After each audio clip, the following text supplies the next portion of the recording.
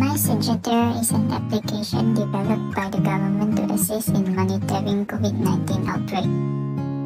Based on the survey we conducted, more than 50% of the participants did not have much knowledge about this application and its advantages.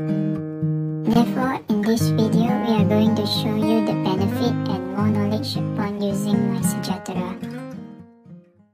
How to find the nearest screening facilities by using MySejahtera. First, look for the MySejahtera application. Look for health facilities. There will be a few screening facilities shown. Zoom in the map to find the nearest screening facility. As you can see, there are two screening facilities near my location. The name, location, and contact will be shown upon clicking. You can also click on other screening facilities to look for the location. You can also search in Google for more accurate location. How to determine your risk status on MySejahtera. First, look for COVID-19 status. Start the risk status assessment. Answer all the questions based on your current health condition. Click on Submit after finish answering all the questions.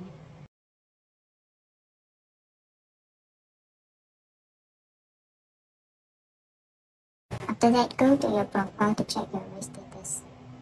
The system will update your risk status as shown. Where to make online clinic booking?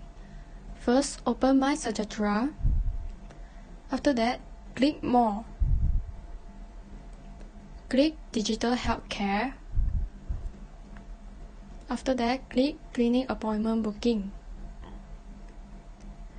Choose which website you prefer and click it. I prefer QMed. Choose the nearest clinic, book it, and you are done. How to report if you are COVID-19 positive. First, open MySejahtera app.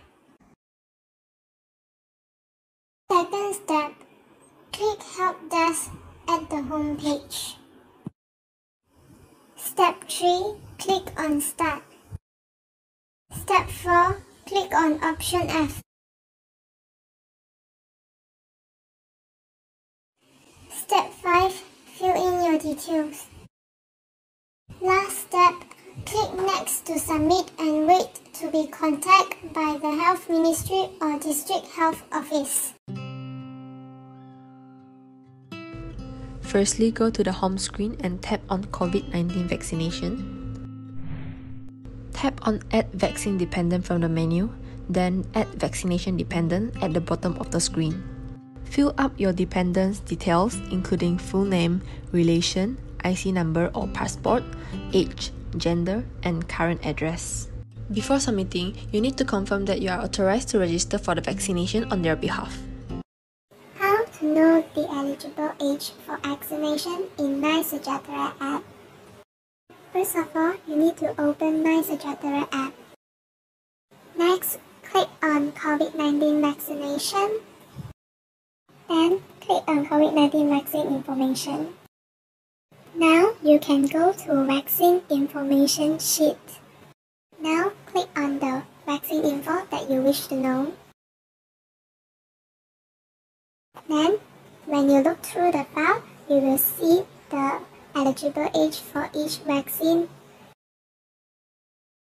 Finally, you can click on other vaccine to view their eligible age too.